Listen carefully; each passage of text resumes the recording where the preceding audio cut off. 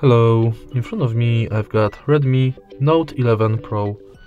In this video I'll show you how to manage Google Wallet.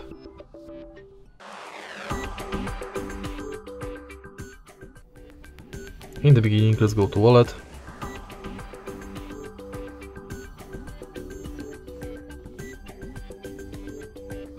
Tap Explore Wallet button. And now from the homepage of this app, you can add payment cards, check quick tips,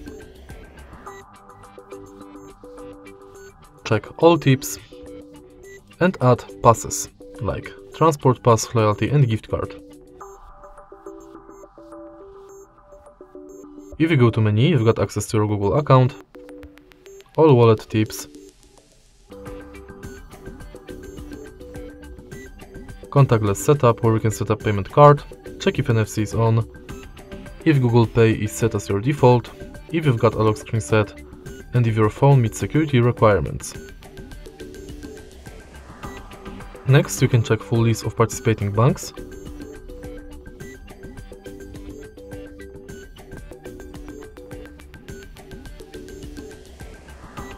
And manage your password saved in Password Manager.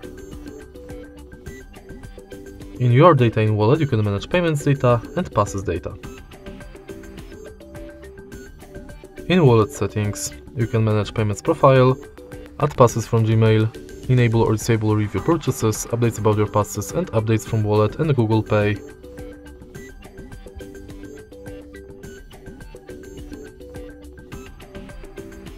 In the end you can go to help and feedback. And that's basically it. If you find this video helpful, Please leave like, comment and subscribe.